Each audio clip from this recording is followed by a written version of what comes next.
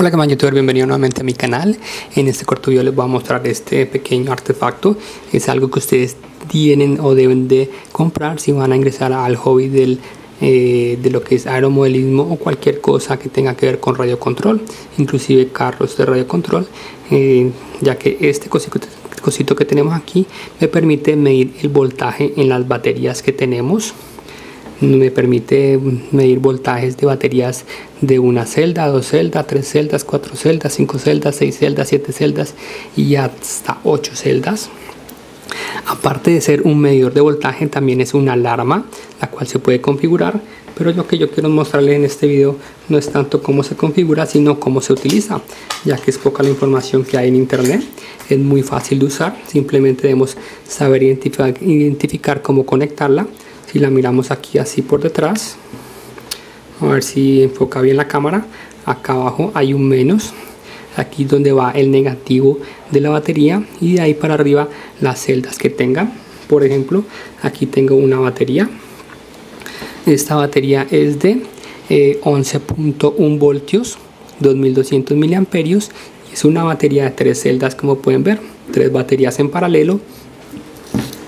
Él tiene aquí un conector que me da acceso a la tierra, al común de las tres baterías y cada una de las celdas. Entonces lo que hace este, este, este aparatico es medir el voltaje total y el voltaje de cada celda y para conectarlo es muy fácil. Simplemente cogemos el conector.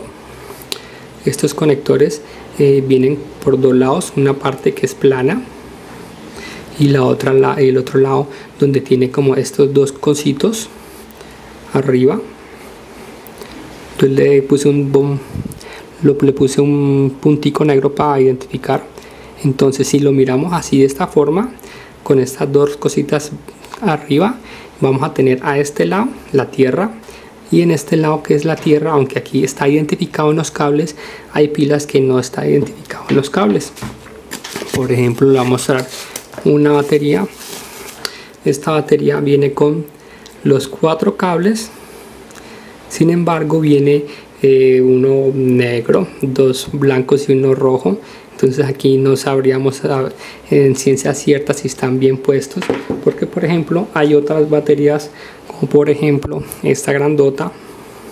Esta grandota tiene tres negros y uno rojo y eso es equivocado ya que simplemente siempre hay un común y tres de las diferentes celdas. Entonces lo que uno hace es coger el cable así de esta forma. A ver si enfoca bien la cámara teniendo estas rayitas estos estos moñitos hacia arriba y el que está a este lado mirándolo hacia ustedes el que está a este lado es la tierra y esa tierra se conecta con la tierra al dispositivo del medidor. Y aquí nos muestra el voltaje. En este caso esta batería tiene 10 voltios esta batería ya está descargada ya que es de 12 de 11.1 voltios bueno está pero cuando está completamente cargada es de 12.6 demuestra los voltajes de cada una de las celdas. Entonces vamos a hacer la prueba con la batería completamente cargada para que ustedes vean que es 12.6 más o menos el valor. Recordemos que esta tiene los cables equivocados pero si lo miramos desde arriba yo sé que este de acá es la tierra. Entonces cojo esto por detrás tierra con tierra. Y aquí puedo ver el voltaje de esta batería.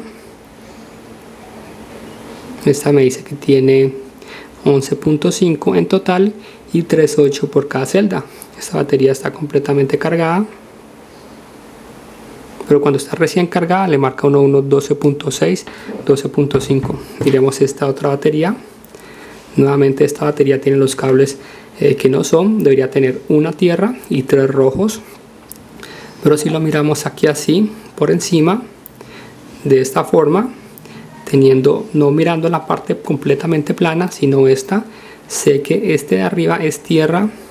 Así que cojo esto por detrás así que coincida la tierra con tierra y puedo mirar el voltaje esta batería si no estoy mal está completamente llena.